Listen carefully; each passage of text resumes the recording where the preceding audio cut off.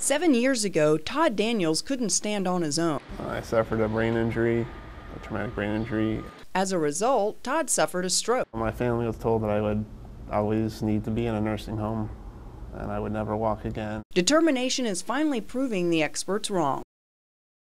Todd is one of the first to use a new bionic arm tested at The Ohio State University to help him regain movement. The pads pick up the intention or the desire of the patient to move, and then the robot detects that and basically amplifies that desire to move. For Todd, the study's been a success. When he first started the study, this the only time he could actually do this motion was involuntarily.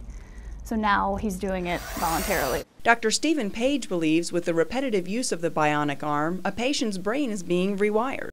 Areas that maybe weren't even uh, being used or being uh, dedicated to a certain movement, like moving the arm, uh, can actually be uh, used. And just how much a stroke patient is improving is, for the first time, being measured by the same technology used in your smartphone. When we turn a cell phone this way or this way, um, the screen changes. And so it's sensitive to movement. Accelerometers, which measure the acceleration and direction of body movements, are placed on each ankle, both arms, and across the chest. We're able to determine how well, how fast, how efficiently um, a stroke survivor is moving. Just gaining some motion back, which is a huge step. I'm Alexis King, WACH Fox News.